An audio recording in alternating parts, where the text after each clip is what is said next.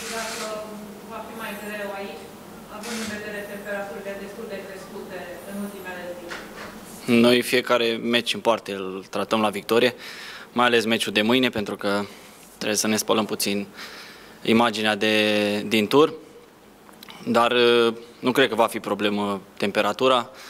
O să ne avantajeze cu siguranță terenul, ceea ce ne-a dezavantajat uh, acolo. Nu mai avem nicio scuză și trebuie să câștigăm meciul de mâine și să ne calificăm mai departe.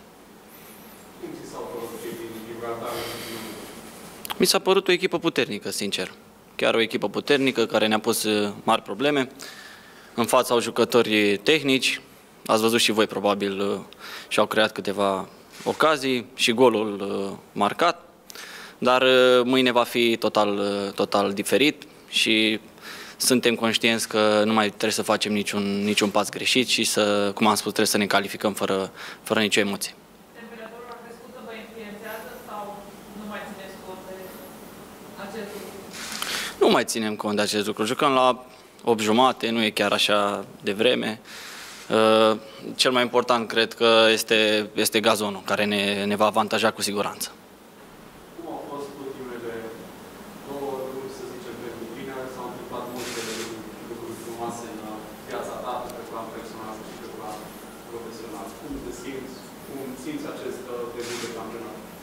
Da, mă, mă simt foarte bine. Cel mai important lucru este că sunt sănătos.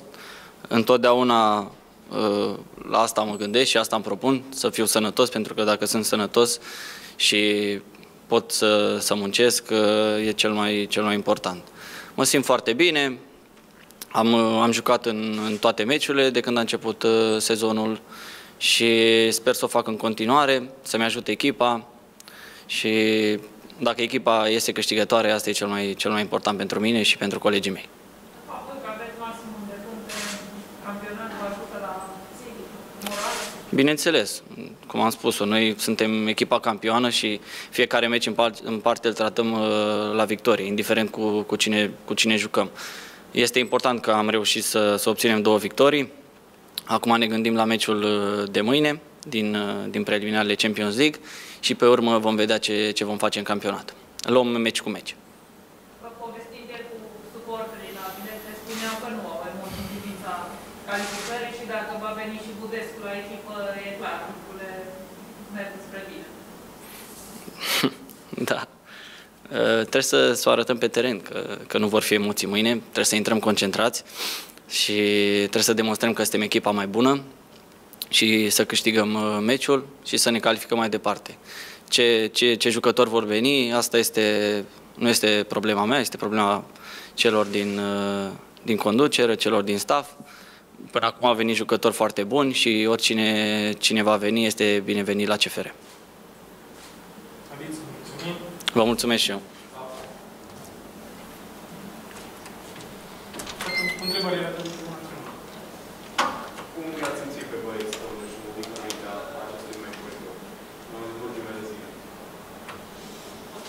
Da, e un pic, e un pic dificil așa să dau seama. Am stat, m-am împărțit așa să zic, fiindcă jucând din trei în trei zile, de fiecare dată eu împart echipa în, în două.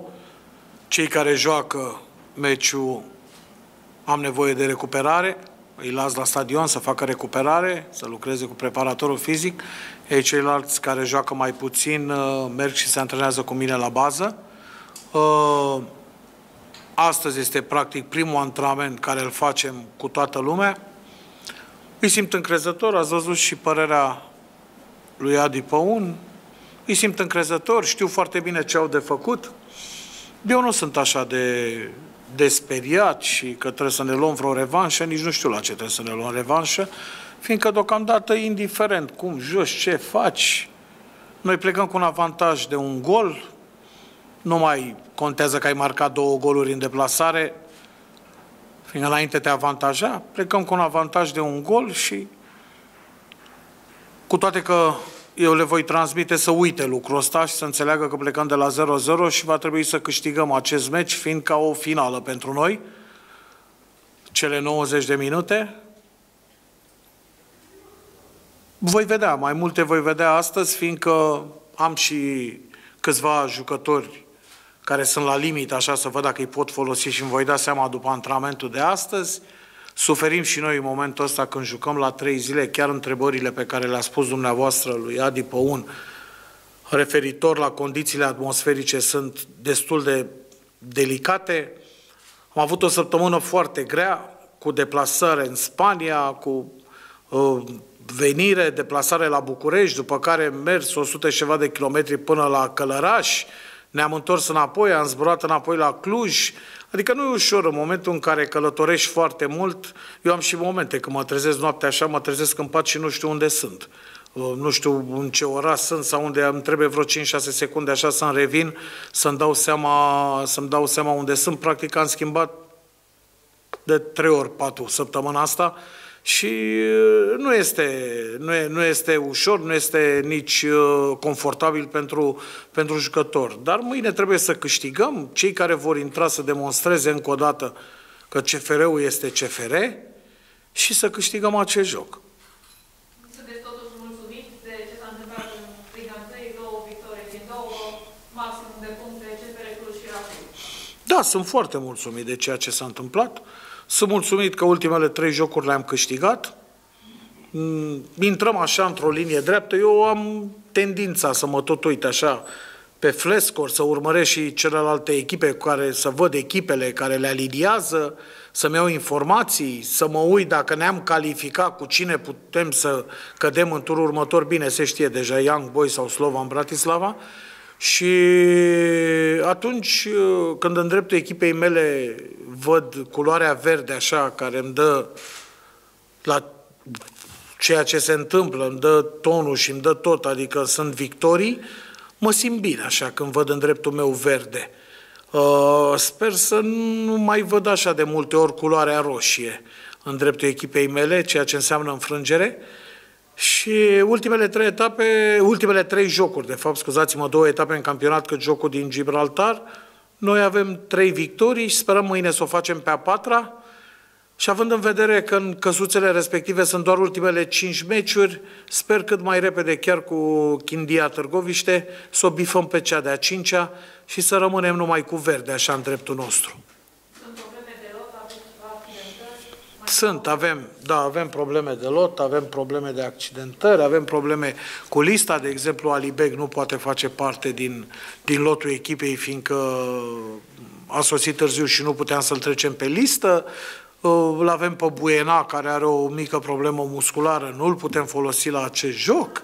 Sunt probleme cu Bilel, care l-am odihnit, tot la fel a avut niște crampe musculare, Uh, și voi vedea astăzi dacă mâine pot să-l folosesc, susici, manea, coton, infecție alimentară.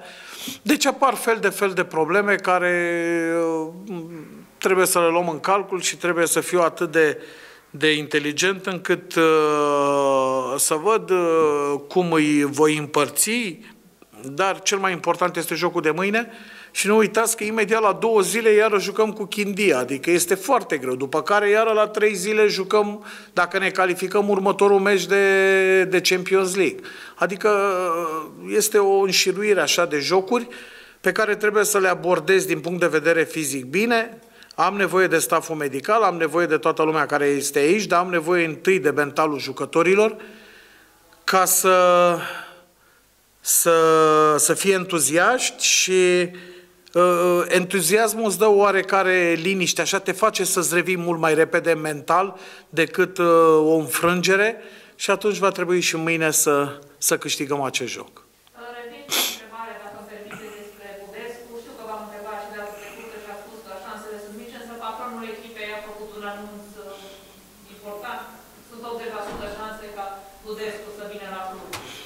În momentul de față, credeți-mă că eu nu știu nimic, nu este problema mea. Sunt oameni abilitați, sunt patronul clubului, el știe cel mai bine, el probabil a intrat în contact sau eu știu ceva de genul ăsta, dar eu vă spun în continuare că va fi destul de greu ca Budescu să ajungă la CFR. Asta este, este părerea mea. Mm, nici nu m-am gândit foarte mult la Budescu. Vă spun sincer, eu nu mă gândesc foarte mult la Budescu, mă gândesc la problemele care le am aici și la primii 11 care îi aliniez. Pentru mine cei mai importanti sunt jucătorii care sunt în propria o gradă în momentul de față. Nici nu mai... Nu, nu, am citit și eu în ziar, am văzut uh, eforturile pe care le face clubul nostru în a aduce nume mari la echipă, fiindcă Budescu este un fotbalist de valoare, dar în momentul de față subiectul Budescu pentru mine trece într-un plan secund așa și mă gândesc doar la meciul de mâine.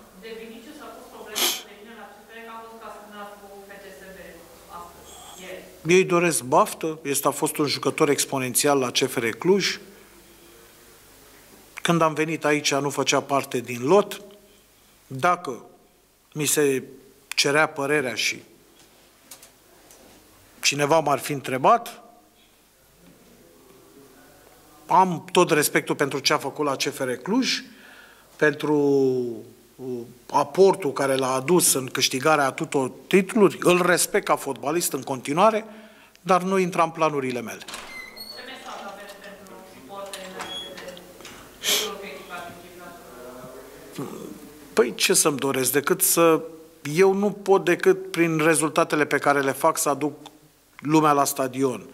Uh, venind după trei victorii, mâine avem șansa să ne calificăm și să fim automat calificați în grupele conference, ceea ce alte echipe se chinuie și trec până nu știu câte tururi să ajungă acolo. Noi mâine avem șansa să jucăm o finală, cum ar și denumi-o eu, și să fim deja în aceste grupe, după care să ne continuăm drumul către Champions League sau către Europa League. Dar Deocamdată ne asigurăm până această victorie de mâine, care sper să o dobândim, uh, accederea și le oferim suporterilor noștri, celor de la CFR, fiindcă cei sunt, ei sunt mai apropiați de sufletul meu în momentul de față, cât și suporterilor din toată țara, șansa de a vedea o echipă până în decembrie. Ceea ce am spus, de a vedea o echipă pe plan internațional, reprezentând România până în decembrie. Dacă competiția respectivă va fi una de un rang superior, mă refer aici la Europa League sau la Champions League, cu atât mai bine pentru mine, pentru jucători și pentru club. Deocamdată avem primul pas mâine și anume accederea în grupele Conference League. Ce vă e mai greu să pregătiți? din cupele europene din Liga Le tratez la fel, ați văzut că nu sunt, nu mă schimb, nu sunt tot același caracter coleric îl am la fiecare joc, nu mă interesează, pentru mine orice meci este important. Mi-am dorit să am maximum de puncte și în campionat, am reușit, sper să câștigăm și jocul cu Târgoviște și să facem 9 puncte, să ne instalăm acolo în primele două echipe. Mă bucur și pentru Rapid că se află acolo. Trecutul meu nu pot să-l dau la o parte niciodată, este echipa unde am realizat performanțe ca jucător și atunci uh, sunt, uh, sunt bucuros. Dar deocamdată, încă o dată vă spun, mă gândesc la meciul de mâine, mă gândesc la ceea ce trebuie să facă CFR și sunt fer convins că și băieții au la fel aceeași gândire și își vor dori ca mâine să mulțumească publicul spectator și pentru mine asta este cel mai important, că revin la ceea ce m-ați întrebat de suporteri, ca în momentul în care părăsim terenul de joc de acasă, de aici, să văd iară suporteri în picioare, neieșind pe porțile stadionului și rămânând să-și, să aplaude favoriții.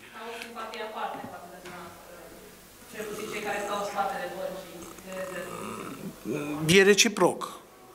Eu iubesc unde mă atașez foarte repede de, de suporteri, indiferent unde lucrez. În momentul de față îi iubesc pe toți clujenii, cei care sunt alături de, de CFR.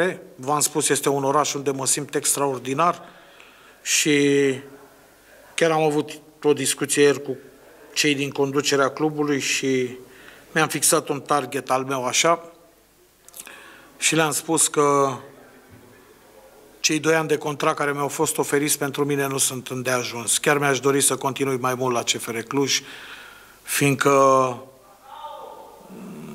nu vreau să par modest așa, dar am atins un nivel financiar care nu mai mi-aș dori așa să mă chinui și să stau până țări cu o căldură așa peste nivel, mă refer la golf, mă refer la așa și mi-aș dori să rămân mai mult, mai mult în țară.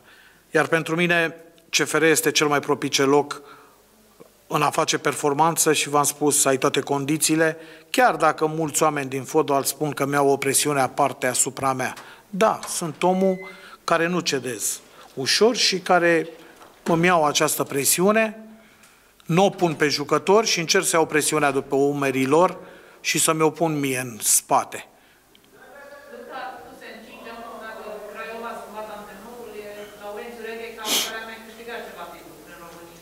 Da, este un antrenor titrat, un antrenor care a lucrat în străinătate la fel ca și mine, un antrenor care are titluri în palmares. Ne batem, ne batem în, să zic așa, la figurat. Ne batem pentru, pentru, pentru trofee, vom vedea, avem în joc aceste competiții europene, cât și campionatul, Cupa României, suntem angrenați pe trei fronturi, și important este finișul. Important este finișul. Sperăm să, să ajungem acolo, iar cei care ne vom bucura să fim din nou cei de la CFR.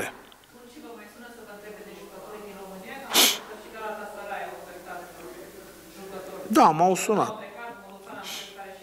M-au sunat, da, mai mă sună și director sportiv și m-au întrebat și de Sorescu, de exemplu, m-au întrebat și tot timpul eu am încercat să ajut. Dacă vă uitați, cred că sunt între puținii antrenori români care a luat jucători români cu el peste tot pe unde m-am dus.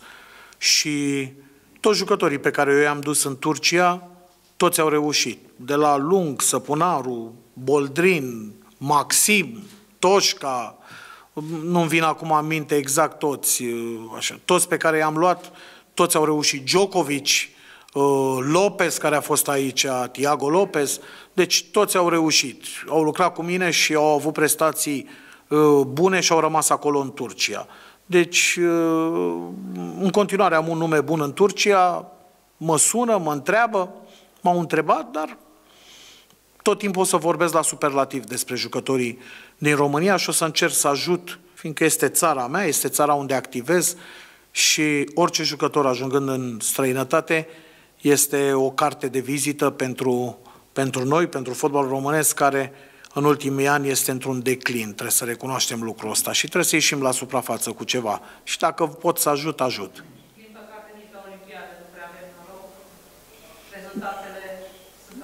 Da, îmi pare rău, îmi pare rău pentru eșecul care, pentru eșecul care l-au, l-au înregistrat în ultimul joc. Nu mă așteptam. Sper să-și revină, nu e ușor nici pentru rădoi, sper să-și revină și să reușească să, să câștige jocul cu Noua Zeelandă, ceea ce ar însemna o calificare.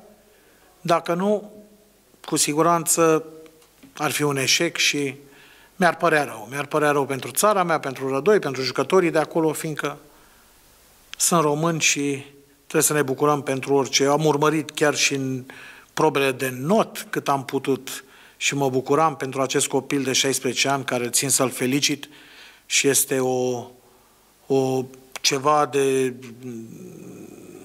trebuie să, să fim alături de el și să, să respectăm, să ne păstrăm valorile, să ridicăm cât putem de sus, fiindcă ăștia sunt oamenii care ne fac cinste. Și atunci trebuie, trebuie să aplaudați, cum și medalia de argint luată la scrimă, din ce știu eu, adică este un succes deosebit, mai ales în sportul românesc, unde din ce în ce se, se investește mai puțin.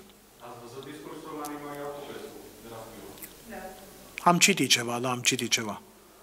Am citit ceva. Pentru mine este o performanță deosebită. Să iei medalia de argint este o performanță uh, deosebită. Uh, sportivii aceștia de valoare ar trebui să, să fie înconjurați de oameni de valoare, de oameni care au făcut ceva pentru sportul din România. Și atunci uh, cred că noi trebuie să, să cultivăm această mentalitate și să, să, să, să-i scoatem în evidență pe acești sportivi și nu să, să Am văzut și o uh, declarația unui sportiv care spunea că, practic, uh, erau momente în România când uh, nu se putea antrena sau nu se alimenta cum, cum trebuie sau ceva de genul ăsta. Nu. Astea sunt probleme mari, astea sunt probleme care, care ne fac de rușine pe unde mergem și aceste comentarii trebuie să dispară. Trebuie să, să creăm uh, să creăm toate condițiile, mai ales când te duci la, la, la o expunere, gen un campionat european, un campionat mondial sau uh, o olimpiadă. Trebuie să dispară aceste comentarii. Ultima întrebare. Lumea sportului nu este așa unită sau mai unită să pună presiuni pe autorități, pe politicieni, să se schimbe ceva da, nu știu, nu sunt în măsură să vă spun, nu sunt nici cu birocrația asta, nici cu o legea sportului sau dacă există sau în ce procente trebuie alocați anumite, trebuie alocate anumite sume către, către sport. Sportul este, este un domeniu care te face imediat cunoscut. În momentul în care ieși la competiții internaționale, până sport, uh, se vorbește despre România, se vorbește despre, nu mai vreau să mai fim oamenii ăia care uh, se vorbește numai urât, că vezi, Doamne, spălăm parbrize pe unde ne ducem până alte țări sau facem orice. O facem uh, și eu nici pe oamenii ăștia nu-i detest. În momentul în care uh, pleacă, încearcă să, să plece la mai bine, trebuie schimbată, în primul rând, societatea, tot ceea ce se întâmplă la noi în țară. Nu se poate să ne vindem așa, așa ușor, nu se poate să, să, să pierdem medici, să pierdem oameni de valoare, nu numai în domeniul sportului, oameni de valoare care pleacă în străinătate și automat uh, se duc uh, la condiții mai bune. Trebuie să oferim aceste condiții, să facem tot ceea ce este necesar ca acești oameni să nu mai părăsească țara, inclusiv în domeniul fotbalului, inclusiv să ne păstrăm valorile, să rămână antrenori, să rămână jucători, fiindcă numai așa putem face uh, performanțe, iar sau banii care îi luăm din transferurile unor jucători, să-i reinvestim și să încercăm să creștem din academiile proprii și să apară, să apară jucători.